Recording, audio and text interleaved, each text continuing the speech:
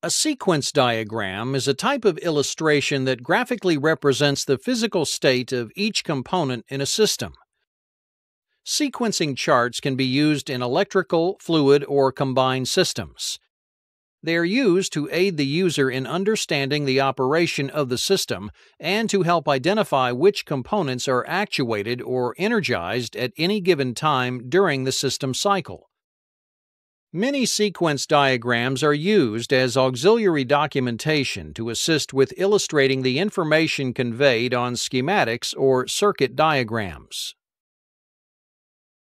While there is no official standard for drawing a sequence diagram, most are drawn with the time elapsed on the horizontal axis and the action accomplished on the vertical axis. To build a sequence diagram, each major component is assigned a horizontal line. The width of the line shows the time period during the cycle that each component is actuated or energized. It should be noted that this width may not necessarily correlate to a specific time, such as one second or one minute. Rather, the purpose of the horizontal line is to show each component's state in relation to the other components. The start of a typical cycle is annotated at the left vertical line marked Cycle Start. The action progresses toward the right until the end of a cycle at the vertical line marked Cycle End. Other major milestones may also be denoted by vertical lines. Typically, if an action is instantaneous, it will be noted with its own vertical line at the appropriate point in time.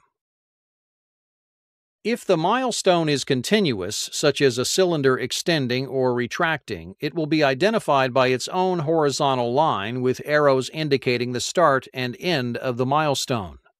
The actual time duration of the cycle in seconds or minutes depends upon the speed at which a cycle is completed.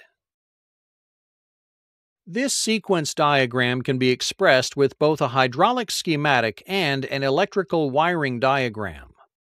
To start this cycle, the operator presses the push button. Line 1 on the sequence diagram indicates that the push button may be held down for a variable length of time as indicated by both solid and dotted lines. When the push button is depressed, the relay coil and the valve solenoid immediately become energized as shown on lines 2 and 3. Now that the relay coil is energized, relay contact 1 CRA closes and also becomes energized as indicated on line 4. This sets up a holding circuit through switch 1LS and contacts 1CRA, which keeps current on the relay coil and the valve solenoid even though the push button has been released. Since solenoid A is now energized, the valve shifts accordingly to allow fluid into the blind end of the cylinder. The cylinder travels forward and at the end of its stroke actuates limit switch 1LS on line 5. When the switch contacts open, current is removed from the relay coil. Relay contacts 1CRA open, removing current from the solenoid valve. Internal springs shift the solenoid valve spool to the cylinder retract position and the cylinder starts its return stroke. Switch 1LS contacts close again as the cylinder backs off the switch, but the relay coil and valve solenoid do not become energized again because contacts 1 CRA are open at this time.